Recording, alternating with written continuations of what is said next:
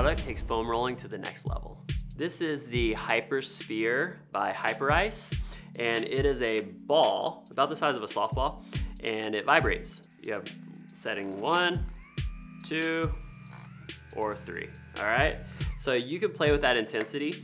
But the reason the ball is a little bit different than a foam roller, a foam roller is gonna be more of a broad contact, so it's gonna roll like this, whereas this kind of pinpoints. So you can really fine tune your self-mobility tissue work, all right? Rather than rolling across the broad part, it's actually gonna go more localized into specific points you want to work on in your body. I really like the Hypersphere for my hips. I can I kind of put it under the hip and the glute, and then I can add some movements the vibration's a nice added feature because as it vibrates, it helps calm down some of those tissues that are really gripping and holding on tight. So the vibration adds an extra layer to your foam rolling in your mobility practice. If I roll on this after I work out, it helps prevent a lot of my muscle soreness. So especially my hips, if I do a lot of squats, deadlifts, anything like that, or a lot of running, I find that my hips may feel some kind of tension and tightness in there. So if I spend five or 10 minutes later that day or evening rolling out my hips, my hamstrings, my calves, my feet, it really helps flush out the tissues and helps me feel better. I've been using this for about five years and it's lasted great. It's been dropped a few times and still holding on. I would recommend this one for someone who's more experienced with their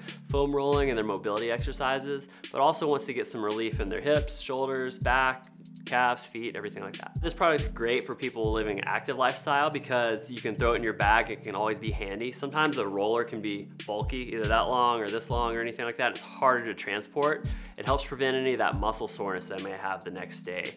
And since there is vibration with it, it also helps flush out that lactic acid, which can build up in the legs from long exercise and it helps flush that, get it moving, and get you better blood flow through your body.